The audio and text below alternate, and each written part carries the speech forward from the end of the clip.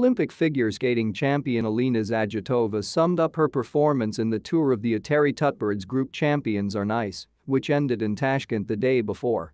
So the tour of our wonderful show Champions on Ice has ended.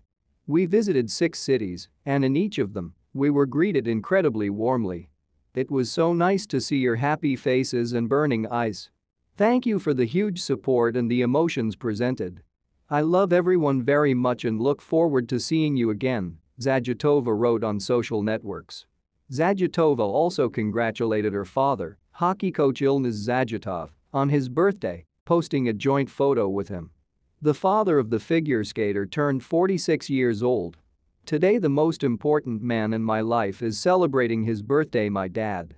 Thank you for putting me on skates once and instilling this love for ice.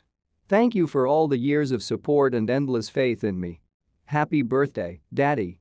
Be the happiest and remember that we are always there, Zagitova wrote.